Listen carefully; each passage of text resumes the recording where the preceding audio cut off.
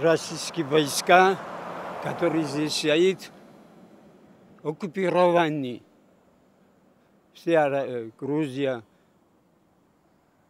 Нам это абсолютно не нужно. Нам нужно мир, нам нужна дружба, нам нужно русским человеком отличным отношением быть.